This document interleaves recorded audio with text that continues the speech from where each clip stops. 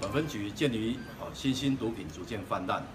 哦成为时下年轻人哦在 KTV、豪华农舍哦甚至旅店哦助兴轰趴使用，哦使用过量致死，哦时有所闻。哦宜安县政府及警察局张局长对查缉新兴毒品工作极为重视。哦罗东分局在分局长吴家旭指示下，即成立专案小组，全力来查缉。啊，本分局专案小组成员在去年底接获线报，哦，一名住于罗东镇哦陈姓男子，在去年三月哦被本分局查获哦混毒分装厂后，仍不知悔悟，哦重操毒业，哦四处兜售哦混合型毒品，哦本分局经过长期搜证，哦搜证齐全，调查完毕，哦昨天持搜索票哦到陈贤住处，哦附近执行搜索，哦当场在陈贤身上哦起获。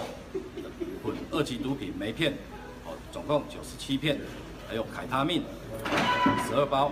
另外，在现场附近林姓犯嫌身上搜索，哦，查获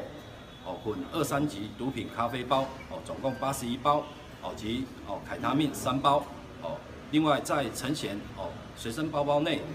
哦查扣哦贩毒所得哦新台币五万五万元，哦全案一哦违反毒品危害防治条例，移送宜兰地检署来侦办。